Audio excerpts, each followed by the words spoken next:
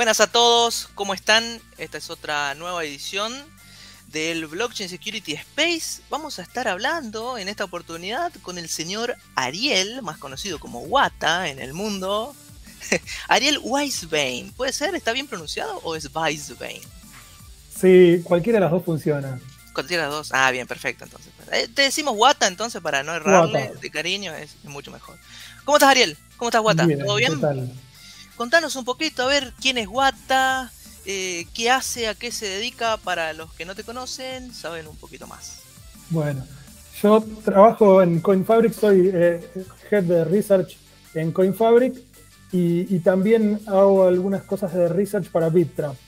Eh, trabajo en seguridad hace veintipico de años, vengo de también ser el, director de investigación en Core Security este, y antes pasé por una breve carrera de matemática en donde me doctoré en la U hace unos cuantos años. O sea que sos una persona que recién empieza en el mundo de la seguridad informática, básicamente. Más o menos, 99 por ahí. Tenés muchísimos años de experiencia trabajando y muchísimos años de experiencia dando charlas también. Así es. ¿Y este año con qué nos vas a sorprender en la Ecoparty?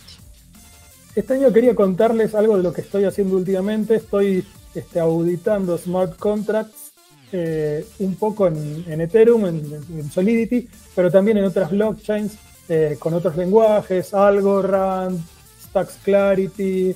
Eh, nos tocó también hacer algún trabajo en, la blockchain de Nier. Así que este, una vez que uno se pone a auditar estos lenguajes, aparecen distintas complejidades.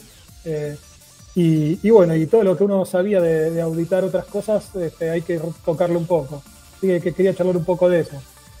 Totalmente generalmente uno o, el común de las personas eh, auditan en una blockchain o en las blockchains más conocidas y ahí termina, digamos, pero hay muchísimos otros lenguajes por detrás, con muchísimas otras blockchains que también demandan procesos de auditoría. Así que muy, muy interesante eso. ¿Vas a mostrar casos reales también? Sí, así es. Voy a mostrar algunos casos reales y contarle algunas particularidades porque, a ver, lo que pasa es que este, hay algunos bugs a los que estamos acostumbrados que tienen que ver con diseño y esos casi que son funcionan para todas las, blockchains, este, con algunas particularidades. Pero después hay algunas cosas que vienen de los lenguajes que se usan para programar, qué sé yo. Algunos tendrán overflows, otros no, por ejemplo. Ah, y después hay particularidades de las blockchains. Eh, qué sé yo. Hay blockchains, por ejemplo, en donde no son single thread. Y todas esas cosas lindas que uno está acostumbrado en Ethereum, en donde este, si se cae alguna transacción en el medio de tres llamadas de contrato, se vuelve para atrás, eh, bueno, no, están aseguradas y hay que asegurarse con código porque si no se pierde dinero en el camino. Totalmente.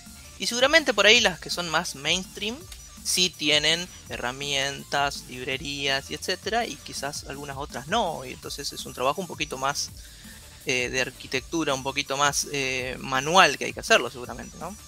Exacto, es lo, mismo que nos pasaba hace varios años con, las librerías de cripto, ¿no? Que uno se ponía a auditar código y veía a la gente que auditaba, que, perdón, que desarrollaba sus propias librerías de cripto y ya te agarrabas la cabeza y decías, acá voy a encontrar algo. Este, bueno, acá pasa eso, ¿no? Este, entonces en, Solidity tenemos todas esas cosas hermosas que, que hizo la gente de Open Zeppelin que facilitan un montón la vida a la hora de desarrollar y, bueno, en, otras blockchains no, no está todo eso. Pasa en las otras blockchains, es verdad. Así que bueno, muy, muy, muy interesante la charla. Están todos invitados entonces a participar de la charla en los escenarios eh, donde vamos a estar participando en el Blockchain Security Space, en la EcoParty. Eh, el día jueves 3, si, si no estoy diciendo mal, Guata, corregime, jueves 3 a las 17 horas es Exacto. tu charla. ¿Sí? Así es. Así que bueno, te dejo los últimos minutitos para que invites a las personas y algunas otras palabras finales que tengas para el Dale. Bueno, vénganse a la charla, vamos a hablar 45 minutos, les voy a contar un poco de, todas estas otras blockchains eh, y los voy a tratar de entretener con algunos bugs. Eh, además, quería contarles que estamos haciendo un CTF, eh, eso va a estar abierto a todo el mundo y lo pueden ver en, la página del Blockchain Security Space.